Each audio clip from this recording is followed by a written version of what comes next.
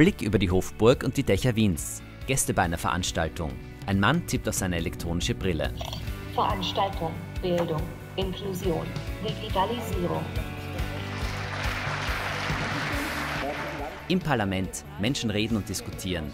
Michael Fembeck, Zero Project Direktor. Wir freuen uns, dass wir heuer die Auftaktveranstaltung zur Zero Project Konferenz hier im österreichischen Parlament abhalten dürfen. Das Thema ist Digitalisierung, Bildung, Inklusion unter Schirmherrschaft des österreichischen Parlamentspräsidenten. Wenn wir ein offenes Parlament sein wollen und die Barrierefreiheit anstreben, dann müssen wir auch alles äh, darum tun. Es ist für uns eine ganz große Chance. So Parlamentspräsident Wolfgang Sobotka.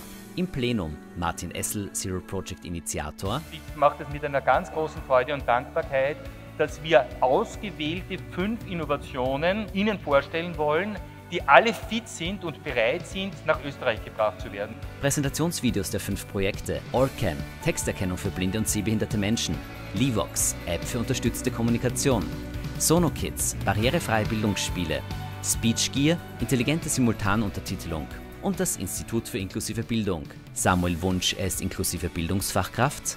Das, was ich weiß und das, was ich kann, das weiß nur ich und das kann nur ich, weil ich einzigartig bin. ÖVP-Abgeordneter Rudolf Taschner. Eine beeindruckende Veranstaltung, die zeigt, wie es möglich ist, dass behinderte Menschen Teilhabe an der Gesellschaft, vor allem an der Bildung haben können. Einer der wichtigsten Sätze war, dass nicht jede Technologie automatisch barrierefrei ist. Das heißt, wir müssen gerade bei diesen Veränderungen darauf achten, das wirklich für jeden zugänglich machen. So ÖVP-Abgeordneter Nico Machetti. Abgeordnete Sibylle Hamann, die Grünen. Die Schule, wie ich sie mir wünsche, ist eine, wo jeder Mensch in seiner, ihrer Eigenart genommen wird, wie er oder sie ist. ÖVP-Abgeordnete Gudrun Kugler. Heute haben wir auf dieser Veranstaltung ganz viele Ideen gehört, was der technische Fortschritt in diesem Bereich tun kann. Und ich glaube, dass wenn wir die alle umsetzen können in Österreich, wir einen großen Schritt zur inklusiven Schule schaffen. So NIOS-Abgeordnete Fiona Fiedler.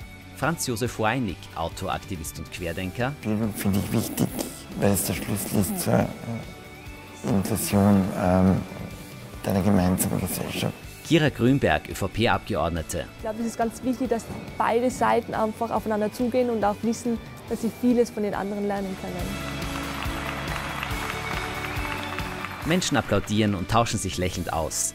Der Schriftzug Bildung, Inklusion, Digitalisierung erscheint, darunter die Logos Zero Project, Republik Österreich Parlament und Sim Bildungsstiftung.